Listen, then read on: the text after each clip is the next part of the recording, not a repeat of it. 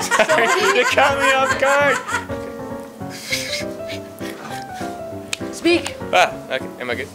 Yeah, no, yes, no, yeah, yeah. So, keep going. Okay.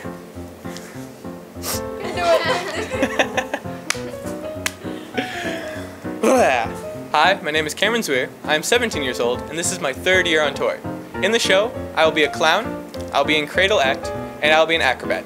Lift food, I can Thank you soup. for the new talent talent shows. Uh, I will be having a rematch against Ivan to see who can eat a pint of Ben & Jerry's ice cream faster. My record last year was 2 minutes and 30 seconds, and I'm hoping to beat that by at least 30 seconds. This is my third year on tour, and in the show I'll be doing Cradle, something else I forgot,